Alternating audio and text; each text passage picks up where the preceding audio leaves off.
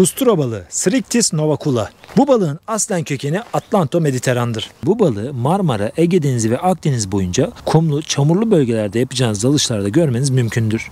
Labridia ailesine üye olan bu balıkların genellikle boyları 10 ila 20 santim arasında değişkenlik gösterse de nadir olarak maksimum 30 santim boya ulaşanları da bilinir. Ustura balığının belki de en dikkat çeken özellikleri korktuklarında veya tehlike anında saniyeler içinde kafalamasına kuma girip saklanmalarıdır. Çok hızlı ve çevik balıklardır. Ustura balıkları baskın bir şekilde cinsel dimorfizm görebileceğiniz balıklar arasındadır. Protogenik hermafroditizm gözlenir. Yani hayatlarına ilk olarak dişi daha sonra erkek olarak devam ederler. 10-15 santim boy aralığını dişi olarak geçiren bu balıklar 17 santim civarına geldiklerinde erkeğe dönüşürler. Dişiler vücutlarındaki fizyolojik değişimi hissetmeye başladıkları an erkek olurlar. Cinsiyete ve yaşa bağlı olarak renk değişikliği gözlenir. Erkeklerin vücudu yeşil ve kırmızı tonlarındayken dişiler daha çok pembe ve kahverengi tonlarındadır.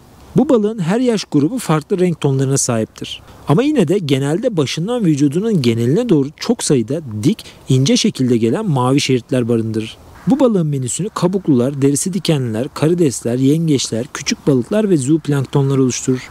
Genelde havaların serinlemeye başladığı yaz sonunda üremeye başlarlar. Erkek ustura balıkları haremini ve bölgesini diğer rakip ustura balıklarına karşı inatçı ve agresif bir şekilde savunurlar. Dominant yapıya sahip alfa erkekler her yaş ve renk grubundan dişileri önce seçer, sonra döller ve böylece çok sayıda yumurta bırakarak soyunu her şekilde garanti altına almayı da başarır. Ekonomik bir değeri olmadığı için avcılığı da yapılmaz.